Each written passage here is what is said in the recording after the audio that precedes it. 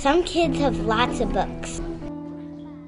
Some kids don't have any books at all. Uh, on average, uh, each school age child has access to 22 books.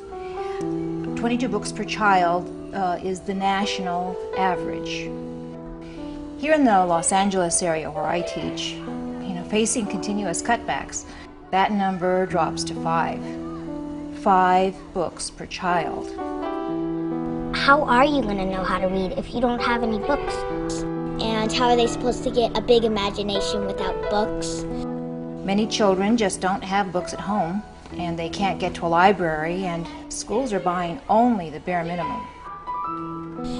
And I think that the kids who have many books that have already read the books should give them to the kids who don't really have that many so they can enjoy books and getting a big imagination. California ranks 49th in books per child in elementary school libraries. In California, each child has only three books to read. 50% of the nation unemployed youth cannot read. This summer, the My Name My Story leaders at Chaminade had a book drive. They started to spread the word to their friends and families about what they were doing. It was crazy. So many books were coming in from different places. Not too long before it hit 3,000, and soon they had 5,000 books. They started to box, sort, and label the books one by one. They drove over to the Children's Hospital, Olive View, and Northridge, and the look on the kids' and doctors' face was priceless.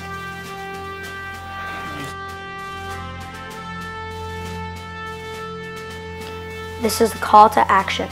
If you are someone who is looking for a way to make our holidays special, or someone who wants to be a leader in the community, we need you. Please come to this event and make 2,000 different kids' holidays special. I feel great knowing that we're helping out those kids. I can't imagine living in isolation like that and you know, books can be great companions. It makes your imagination run wild and I think it's a great opportunity for the kids and for us to get to do work like this. Well, I really liked the experience. We went to a bunch of hospitals and we uh, gave the kids books. Made me feel like I was really heartfelt about it. To be honest, I think that what's happening here is something that is really important because it's such a great opportunity uh, to be able to help others, others that you know are in need of help, and others that don't have the blessings that we have. And I think if we can find, and I, I hope that you hear more of us, that we grow, and the movement to change things and make some sort of inspiration in the world has started, and I think that we can truly, like our motto says on my t-shirt, hope, believe, succeed, and inspire.